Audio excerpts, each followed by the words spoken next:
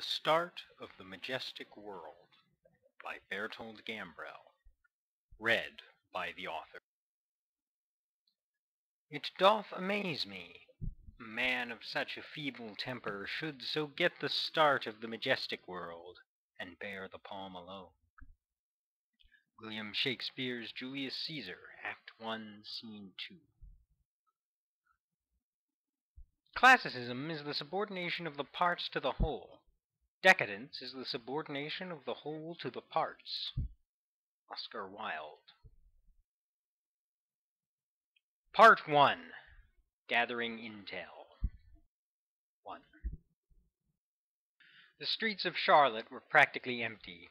It was an overcast and foggy Christmas day. The few vehicles out on the streets contained people making trips to see relatives. Otherwise, there was little traffic. So little that a dark blue Mercedes van parked for several hours on the side of an otherwise empty street attracted some odd looks from passers-by. Too many looks for the liking of its occupants, Federal agents Maynard and Brett.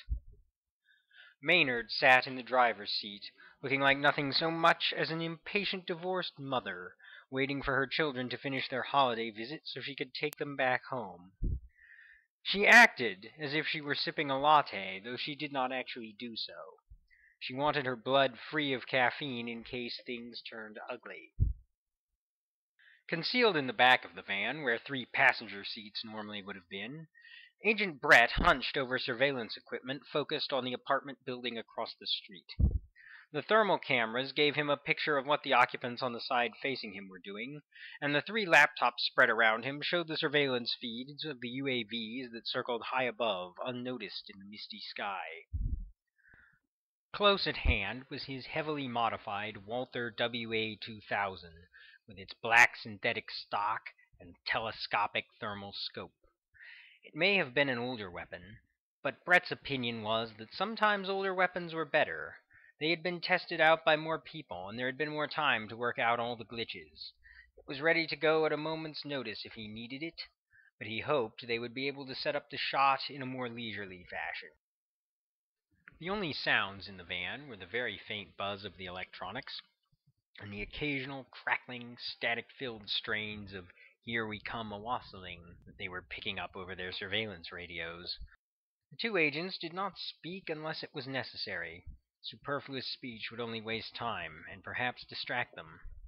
A few times a light rain, almost a thick mist, would settle on the city, and then Agent Maynard would run the windshield wipers.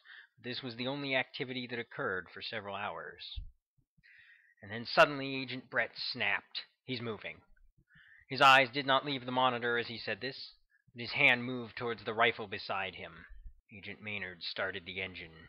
Left stairwell, headed for the eastern exit of the lot, Brett called out, and then a minute later, Gold Civic, license plate FUH8893.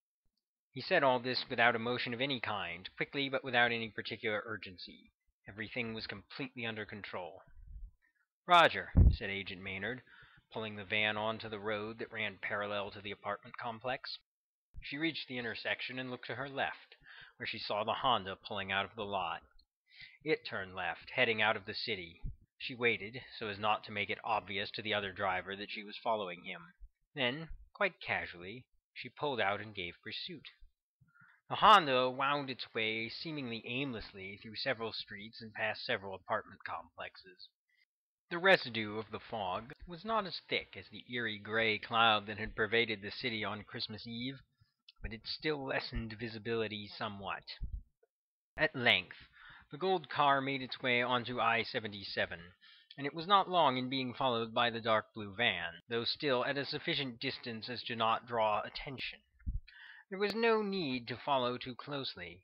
The UAVs were already triangulating above the targeted vehicle, which Agent Brett had now set them to tracking. It was a high-tech and high-stakes form of falconry.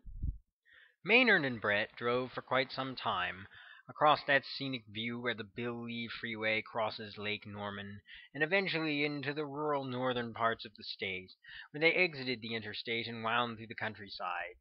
At last the drone feeds showed them that the vehicle had come to a halt at a lonely, secluded cabin surrounded by large evergreen trees.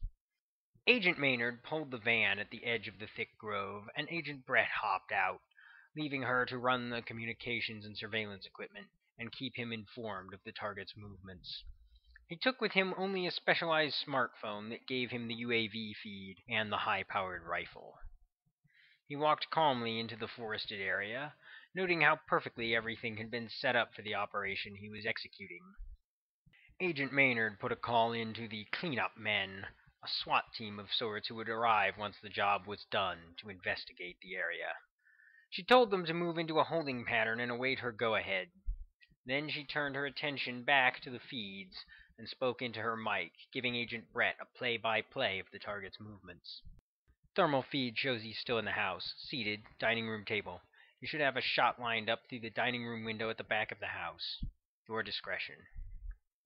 Roger that, said Brett, who had already made his way through the silent forest to the edge of the unused farmland that separated him from the little cabin. He went prone and set up the rifle, carefully aligning the crosshairs with the indicated window. But then, just as he was lining up the shot, the target moved abruptly from the table and out of view. He still had him on thermal, and if he had his 50 caliber anti-materiel rifle, he could have made the shot through the wall. But with a 7.62, such a shot was impossible, and so he waited, calmly, listening to his partner's clinical description of each of the mundane actions the target performed. At last, she reported, he was moving for the back door, and Brett trained his sights accordingly. A moment later the man himself appeared, and for the first time Brett had a good look at his quarry. He was a man of medium build, with a thick beard and a large gut. He wore a camouflage fatigue jacket and a pair of blue jeans with cowboy boots. On his hip was a holstered stainless steel revolver. It all squared with every briefing Brett had attended in preparation for this assignment.